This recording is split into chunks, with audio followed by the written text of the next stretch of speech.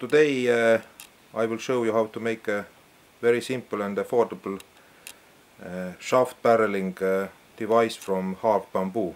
So basically uh, uh, you need a halved bamboo, you need openings, you need a, a bit larger opening for the shaving and uh, an angled opening for the knife so the knife barely reaches out from the bottom of the shaver and you put the knife here. Put the shaver on top of the shaft and you start barreling basically that's it. You turn the shaft and you just barrel it.